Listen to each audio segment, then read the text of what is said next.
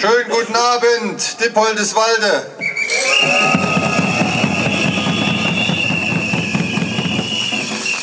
So, das ist natürlich jetzt schwer zu toppen, der Vorredner, aber mal gucken, ob ich auch noch was Sinnvolles zustande kriege. Es reimt sich wahrscheinlich nicht, nee, gar nicht. Ja, freut mich. Äh, ich tingel ja immer mal auf andere Demos und in Dippoldeswalde war ich noch nie, also war ich schon mal, aber noch nicht zu eurer schönen Demo. Letztens war ich hier zum Gericht und dann war gar keins. Und weil wir heutzutage ja keine Faxe und Telefone hatten, hatte ich dann, als ich zurück war, an dem Tag im Briefkasten, dass die Verhandlung ausfällt. Das ist schön, ne? aber so war ich kürzlich erst mal in Dippoldeswalde und habe eure schöne Stadt mir dann ein bisschen angeguckt, als kein Gericht war. Ja, und heute gucke ich mir die schöne Demo an, bin sogar mitgelaufen und besonders euer schönes Motto, das gefällt mir. Für eine gesunde Zukunft. Also, da das regt richtig zum Nachdenken an. Also, zumindest mich hat es angeregt. Sag mal, für eine gesunde Zukunft, tja, was braucht man dazu? Natürlich fällt jedem ein, ne, gesundes Essen, auch ein bisschen Bewegung an frischer Luft, das ist ganz wichtig, was wir hier machen, für die gesunde Zukunft und natürlich Sonnenlicht durch einen möglichst klaren Himmel. Ja, heute geht es sogar, ähm, aber das bedeutet auch eine gesunde Gesellschaft zum Leben, wo es selbstverständlich ist, dass man die Alten ehrt, die Kleinen und Schwachen schützt, das Erbe der Vorfahren hochhält und nicht in den Dreck zieht, dass man natürlich in Frieden leben kann das alles wären die Garanten für eine gesunde Zukunft. Tja, und wer stört die uns? Und wie stört man die uns? Was ist der Gegner der Gesundheit? Tja, sicher Gift in der Spritze oder im Essen, klar. Aber ich denke, ein. Wollte es nur hoch, hochklappen. Gut. Ein viel subtilerer und gefährlicherer Gegner für die Gesundheit ist die Angst. Und die versucht man uns nun seit Jahren immer mit neuen Themen einzubläuen. Für Angst, um Angst zu verbreiten, braucht man meistens einen Gegner, vor dem man Angst haben muss.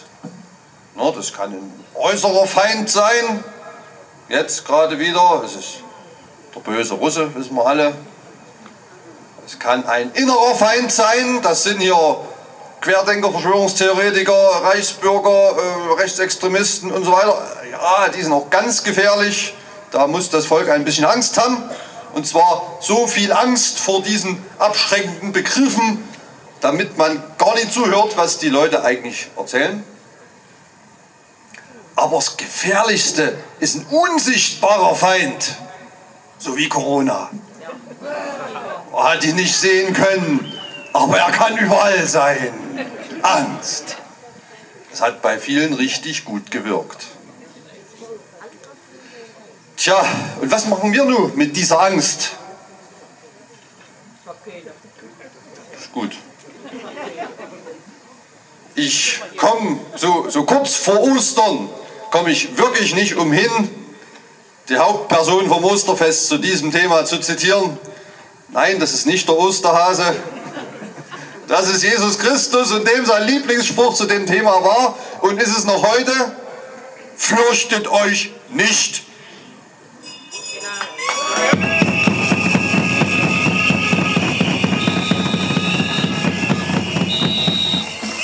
Der Angstmacherei ist nämlich kein neues Thema. Das war damals schon so,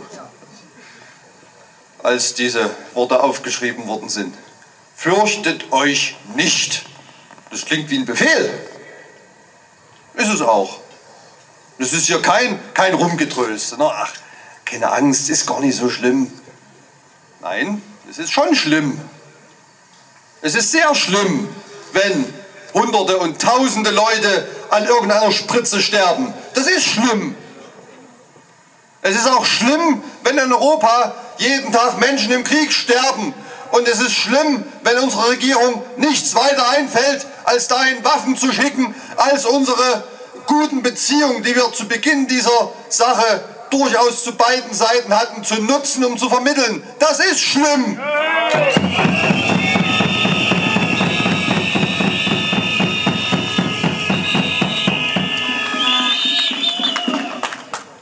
Und dass man jetzt schon den kleinsten Kindern Angst macht. Mein Sohn kam kürzlich aus der Schule, erzählte, ja, wenn er groß ist, werden sich sicherlich viele Leute selber umbringen wegen dem Klimawandel und den Folgen. Grundschule, Grundschule. Das ist schlimm, dass Kindern sowas eingeredet wird, dass schon nicht davor zurückgeschreckt wird, Kindern derart Angst zu machen. Das ist schlimm.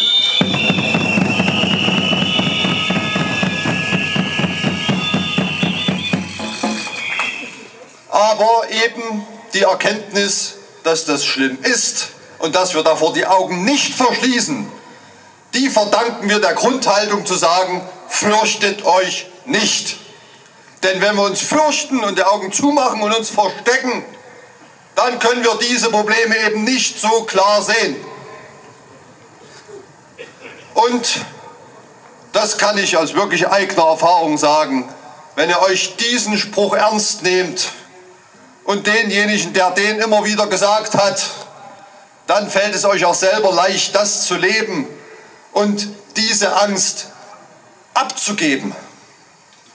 Weil, und das ist die Osterbotschaft, selbst der Tod ist besiegt und diese schrecklichen Verbrecher, die sind auch besiegt.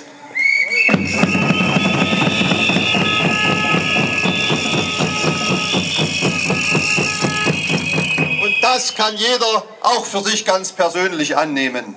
Und dann hat man selbst vor dem Tod keine Angst mehr und kann es hier mit all diesen Schweinereien erst recht mutig aufnehmen.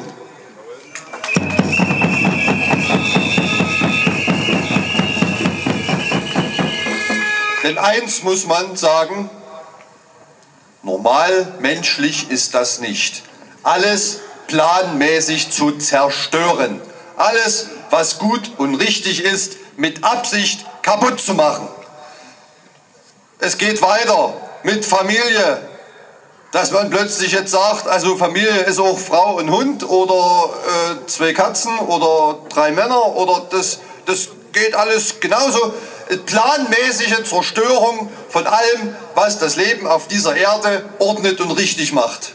Und das machen Menschen nicht auf sich selber, das ist teuflisch.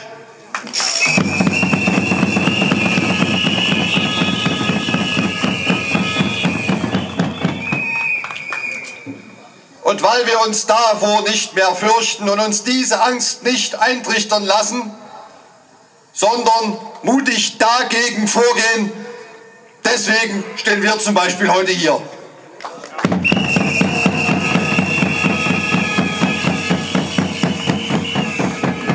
Denn das befähigt uns, nicht nur das Problem zu sehen, sondern auch das Problem hinter dem Problem. Wir hatten vor uns hier auf, auf dem Weg interessante Gespräche, doch gesagt, na Mensch, zu Corona-Zeiten, da waren es viel mehr. Jetzt, wo der Weltkrieg droht, das ist nie so wichtig, offenbar. Ja, ist für viele so gewesen, nämlich für die, die nur das Problem gesehen haben. Das Problem heißt, ich konnte meine Arbeit vielleicht nicht machen, ich darf nicht in die Kneipe gehen, ich konnte nicht äh, ins Theater oder ins Kino und so. Na, da gehe ich eben Montag mit spazieren, weil das ist Mist und gegen dieses Problem gehe ich mit auf die Straße. Ja, und jetzt ist das Problem weg und da sind auch äh, die Leute wieder weg, für die das das einzige Problem war. Aber die, die verstanden haben, dass es ein Problem hinter dem Problem gibt und dass es immer die gleiche Angstmache ist, die immer neue Themen braucht, um uns einzuschüchtern, um uns gefügig zu machen und die sagen, dagegen stehen wir auf, die sind alle noch da.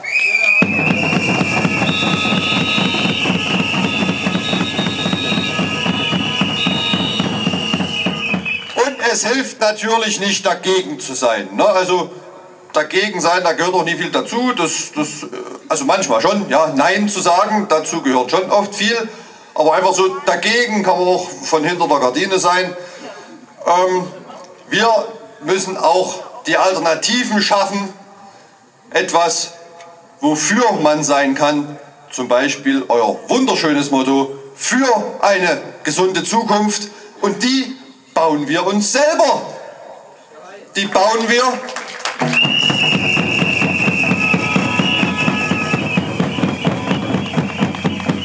bauen wir, indem wir eben gerade nicht auf diese Leute hören, die uns immer wieder Angst machen.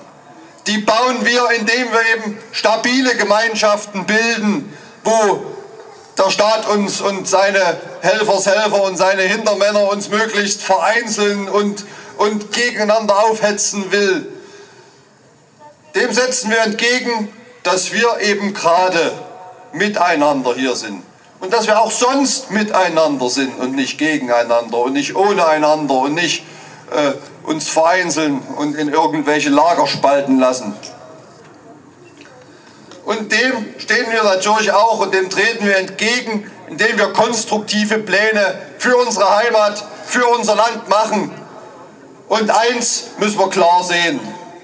Hier in Sachsen haben wir hier, wie wir stehen, großen Rückhalt, auch bei den Leuten, die nicht hier stehen. Das ist in anderen Teilen der Welt und auch Deutschlands leider ganz anders habe neulich mich mit einem Unternehmer unterhalten, der ursprünglich aus dem Westen kommt, der sagte, also hier, wenn mir die, die Linken ans Bein pissen wollen, dann weiß ich alle meine äh, Bekannten und andere Unternehmer die stehen dann hinter mir. Das wäre da, wo ich herkomme, anders. Da wäre ich der Aussätzliche. Tja, und was machen wir nun damit? Manchmal ist es eine schmerzhafte Erkenntnis. Aber wenn man merkt, dass einen mehr trennt als vereint, und wenn man merkt, dass wir eigentlich in eine ganz andere Richtung gehen wollen, als diese Regierung, die mit dieser deutschlandweiten Mehrheit ständig wieder gewählt wird,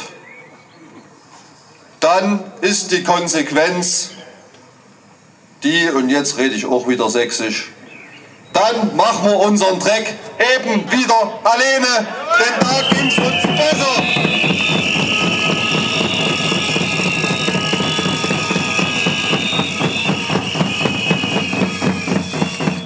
Ich will jetzt gar nicht die Vergangenheit verklären.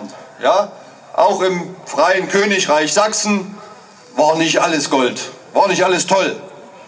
Aber wenn man sich damit befasst, sieht man, so gut wie auf jedem Themengebiet hat sich alles in die richtige Richtung entwickelt. Und heute erleben wir das Gegenteil. Heute ist manches vielleicht sogar besser als damals, aber alles, wirklich alles, entwickelt sich genau in die falsche Richtung. Alles, wo dieser Staat sein Drecksrüssel reinhält, wird genau in die falsche Richtung geschoben.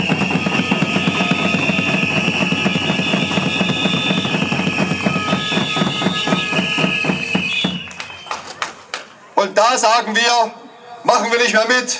Wir sind für eine gesunde Zukunft in einem gesunden Sachsen. Dankeschön.